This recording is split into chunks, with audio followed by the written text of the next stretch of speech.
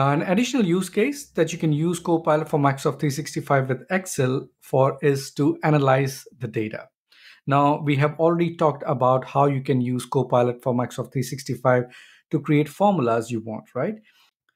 Now, for example, um, we could create formulas that tell us, given this particular data set, which location and product has the highest sales in 2021, for example, right? Now, we can basically put some averages in here uh, or calculate some standard deviations and get Copilot for Microsoft 365 to do all the formulas for us. But if we just want quick answers, we can actually give the data itself to Copilot and then let it do everything. Now, a word of caution is that you need to watch out for the answers that you get because it may not be correct, unfortunately, all the time, right? Which is why it is always recommended that you do the formula approach. Okay, but we have an example over here, uh, which where we have location, product, year, and sales. And what I want to do is a few bits of analysis with this particular example. So let's just go ahead and create our prompts. All right, so I will write my prompt over here where I say, hello, I have the following data, which shows me the sales by location, product, and year.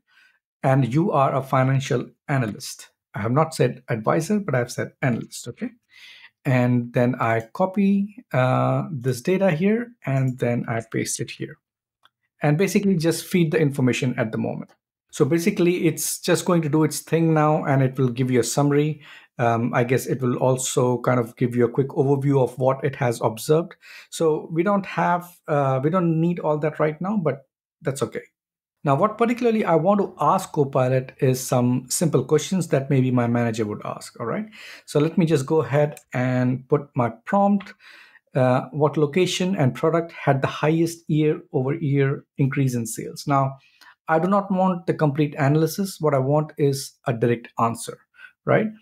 So, what I can say additionally is I just want to know the answer. That's it. All right, so there we go. We have the answer. It says the location and the product with the highest year over year increase in sales is Fairview Equipment, which is this one, uh, which has increased from 428 uh, in 2020 uh, and to 702 in 2021. So the increase is about $274, right? Now we know the increase of the sales year on year. Now we can also ask about the decrease in sales, right? So let's just copy this prompt over here and change it a little bit and say what location and product had the highest year over year decrease in sales, okay? So let's just go ahead and have a look at the answer. All right, so here we have the answer. It's the Lenovo equipment and which had decreased from $631 in 2020 to $246 in 2021 and the decrease is of about $385 right?